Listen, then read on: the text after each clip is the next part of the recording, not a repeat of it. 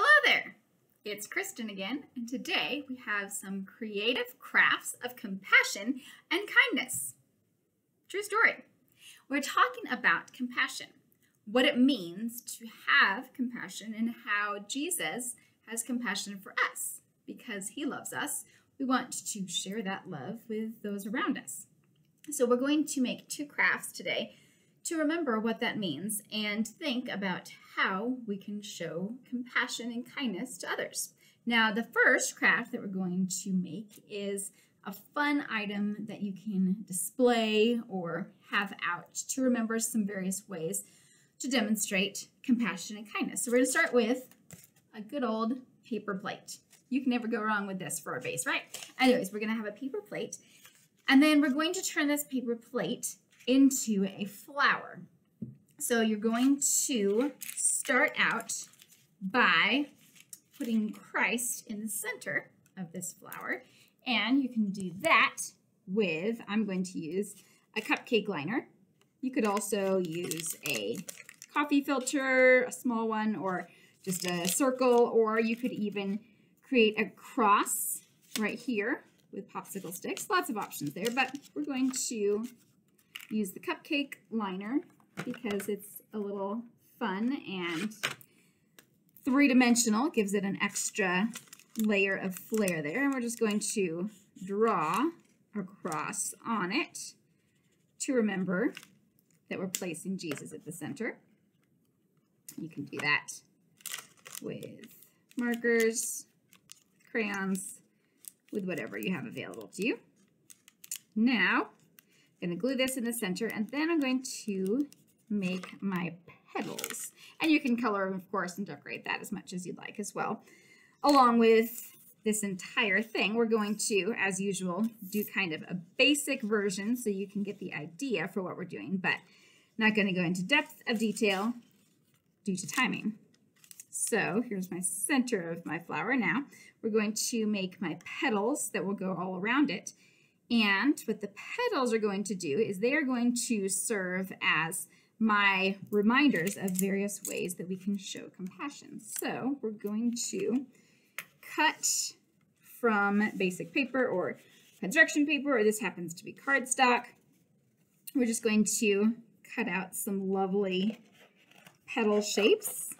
And you can do this however you'd like your petals to look. They can be bigger, smaller, various lengths, various shapes. You know, no flower is going to be perfect, so it's okay if your petals are not either. And we'll sort of arrange as we go to get an idea for what they're going to look like. And then I will write on them prior to gluing them onto my plate. So we'll just start with that. Like I mentioned, you can have more, you can have less, you can do however you prefer, whatever you have time for. And now I'm going to gather my petals and we're going to contemplate how we might show compassion to other people. So this is something that will be a great reminder of showing kindness or showing compassion, showing mercy. Um, so we might say, donate to charity. We might say, help with extra chores. Of course, this is going to be tailored to your students or children or whoever you're working with and encourage them to come up with some creative ways they could demonstrate compassion. So we might say, make cookies for neighbors. Maybe we can volunteer at a nursing home maybe we can walk a neighbor's dog. And maybe we can call someone from church. Maybe you have an older friend, a shut in. Now that things are opening back up, some of these opportunities are again available to us that perhaps were not before. Now I'm also going to make a little stem for my flower so I can hold it up. And this part you can make into a cross shape if you like, or you can just make a regular, um, use popsicle sticks by themselves. So I'm going to make my stem here. Maybe you even want to add some flowery flair to it as well. And this is going to go behind my plate. So we'll add that on. You might need to wait a little bit for it to dry. And here we have our flower of compassion. So now we're going to glue those petals on. You can use glue or tape, depending on how much time you have. If you're not patient enough or your students are not patient enough to wait for the glue to dry, you can always use tape or staples. Staples work just as well and tend to not fall off as easily. So here we have our glue. And then we're just going to arrange our flower petals around this. And evidently, our flower petals need more glue. There we go. Make sure that these can all be read because the idea here is now you have some great thoughts and things to keep in mind for, hey, it's raining, what should we do? Or, hmm, it's time that we show someone kindness and compassion. How can we do that? Well, here's a whole bunch of ideas that you could use. You could pick one, one a week, one a day, one a month, one whenever you're feeling like it. But this gives you some ideas of ways that you can demonstrate the love of Jesus and compassion to those around you. So there's our craft number one to demonstrate compassion. And you can you can either put it on the stick or you can loop a string or something through that top and make it something you can hang up. That's an option as well. Compassion craft number two is going to be a little kindness blessing bag. Now, there are a lot of ways that you can do this. You can, one great way to do it is to make something with the intention that perhaps if you see someone in need, someone who is um, asking for money on the side of the road, or someone who is hurting and homeless, then you can make something that's specific geared to that. The one we're making today is more just a generic, here's a fun bag to give to someone who maybe is having a rough day or needs a little bit of extra love and care.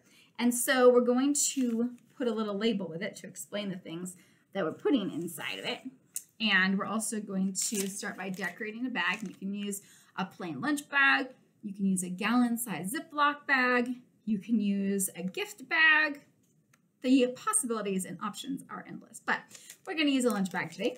And so we're going to make our little caption that goes with this. And this is going to explain the items that we're putting inside of the bag. We're also going to decorate the outside of the bag. We're going to decorate one side of it. Of course, you probably want to decorate both, but again, in the interest of timing, we're going to just do one. So we're going to put some fun stickers over here. And you can label the bag something simple. Like maybe we'll say, you are loved, you are special, you are amazing, you are great, you know, something like that. And again, be more creative than this. This is our speed of time decoration job. Now, on our little card here, we're going to mention the items that are inside. And we might say something like some things to get you through. And again, maybe it's someone who's had a rough day or going through a challenging time, or maybe they're going away from home, or maybe they're returning from somewhere. Um, it could be, there could be a lot of people that you could potentially give this to, but here's some of the items that we're going to put inside. We're going to put a little cross. And the cross is to remember Jesus loves you, of course. That's the most important thing you could give someone. But maybe they also need a little bit of some other types of comfort. So we're going to give them some snacks to munch on. And we're going to give them a solid rock because Jesus is a rock. And we're going to give them some band-aids in case they're hurt. Band-aids for boo-boos. You could have this be something that's typed up and the kids decorate, of course. And I'm even to throw in some socks. And that could be if it's cold or just anytime. Socks are always great, right? So then we've got our little caption there. And then we're going to roll this up and place it in our baggie.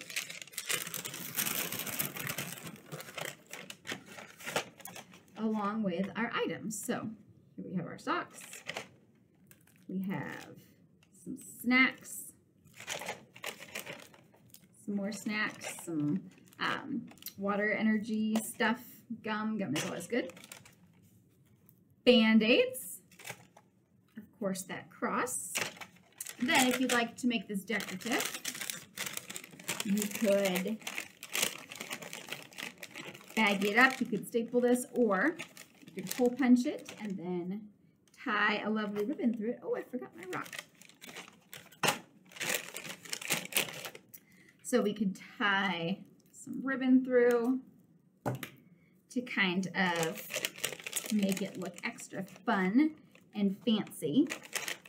Hole punch has gone missing, but that's all right because I'm going to need to take these items out for display anyhow. So we're just going to pretend like that's tied in there. And there you have your bag, and this could be something that you keep in your car, you keep in a bedroom. Um, you tell kids, you know, if you know somebody who's hurting and in need now, give them to them now. If you're not really sure, wait a little while.